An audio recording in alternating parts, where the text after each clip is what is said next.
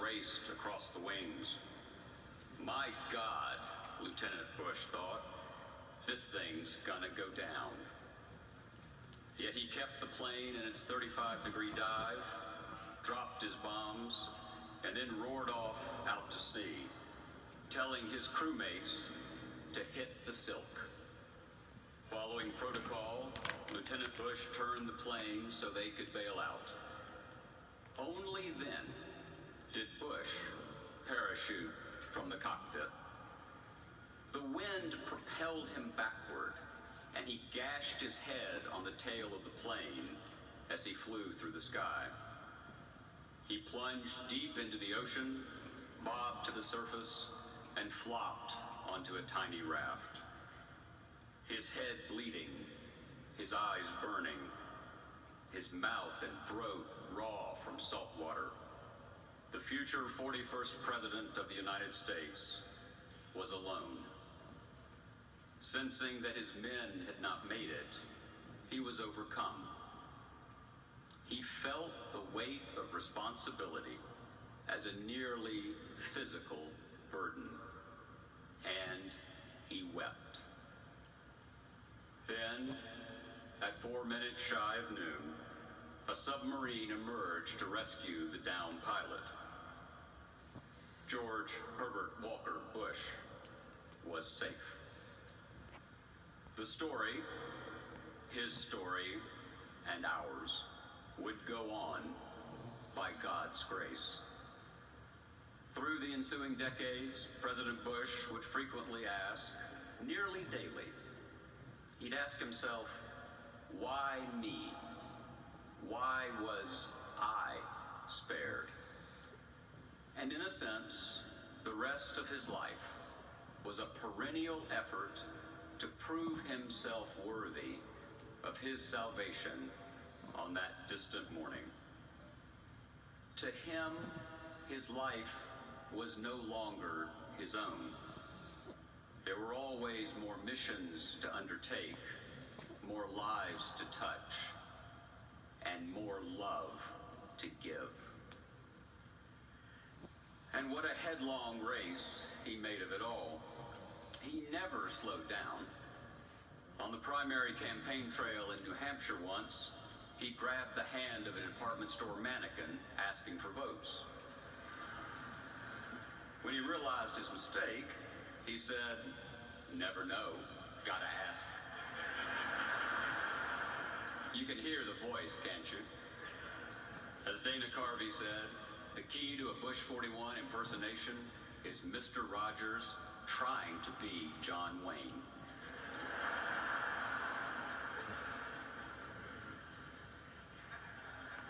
George Herbert Walker Bush was America's last great soldier statesman, a 20th century founding father. He governed with virtues that most closely resemble those of Washington and of Adams, of TR and of FDR, of Truman and of Eisenhower, of men who believed in causes larger than themselves. Six foot two, handsome, dominant in person, President Bush spoke with those big, strong hands, making fists to underscore points. A master of what Franklin Roosevelt called the science of human relationships. He believed that to whom much was given, much is expected. And because life gave him so much, he gave back again and again and again. He stood in the breach in the Cold War against totalitarianism. He stood in the breach in Washington against unthinking partisanship. He stood in the breach against tyranny and discrimination. And on his watch, a wall fell in Berlin. A dictator's aggression did not stand. And doors across America opened to those with disabilities. And in his personal life, he stood in the breach against heartbreak and hurt, always offering an outstretched hand, a warm word, a sympathetic tear. If you were down, he would rush to lift you up. And if you were soaring, he would rush to savor your success. Strong and gracious, comforting and charming, loving and loyal. He was our shield in danger's hour. Now, of course, there was ambition too, loads of that. To serve, he had to succeed. To preside, he had to prevail. Politics, he once admitted, isn't a pure undertaking. Not if you want to win, it's not. An imperfect man, he left us a more perfect union. It must be said that for a keenly intelligent statesman of stirring, almost unparalleled private eloquence, public speaking was not exactly a strong suit. Fluency in English, President Bush once remarked, is something that I'm often not accused of.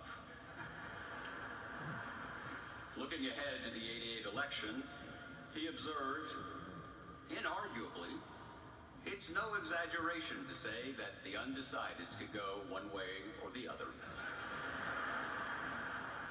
And late in his presidency, he allowed that we're enjoying sluggish times, but we're not enjoying them very much. His tongue may have run amok at moments, but his heart was steadfast. His life code, as he said, was tell the truth. Don't blame people. Be strong. Do your best. Try hard. Forgive. Stay the course. And that was and is the most American of creeds. Abraham Lincoln's better angels of our nature and George H.W. Bush's thousand points of light are companion verses in America's national hymn. For Lincoln and Bush both called on us to choose the right over the convenient, to hope rather than to fear, and to heed not our worst impulses, but our best instincts. In this work, he had the most wonderful of allies in Barbara Pierce Bush, his wife of 73 years.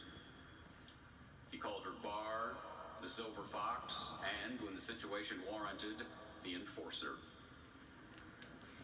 He was the only boy she ever kissed. Her children, Mrs. Bush liked to say, always wanted to throw up when they heard that. In a letter to Barbara during the war, young George H.W. Bush had written, I love you, precious, with all my heart, and to know that you love me means my life. How lucky our children will be to have a mother like you. And as they will tell you, they surely were. As vice president, Bush once visited a children's leukemia ward in Krakow. 35 years before, he and Barbara had lost a daughter, Robin, to the disease. In Krakow, a small boy wanted to greet the American vice president. Learning that the child was sick with the cancer that had taken Robin, Bush began to cry. To his diary later that day, the vice president said this. My eyes flooded with tears, and behind me was a bank of television cameras. And I thought, I can't turn around. I can't dissolve because of personal tragedy in the face of the nurses that give of themselves every day. So I stood there looking at this little guy, tears running down my cheek hoping he wouldn't see, but if he did, hoping he'd feel that I loved him. That was the real George H.W. Bush. A loving man with a big, vibrant, all enveloping heart. And so we ask as we commend his soul to God, and as he did, why him? Why was he spared? The workings of providence are mysterious, but this much is clear.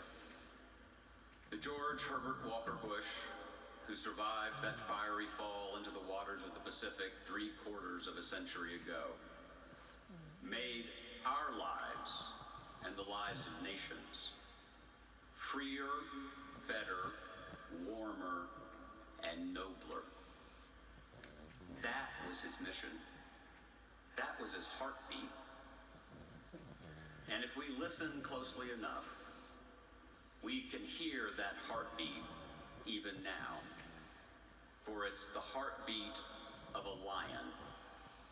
A lion who not only led us, but who loved us.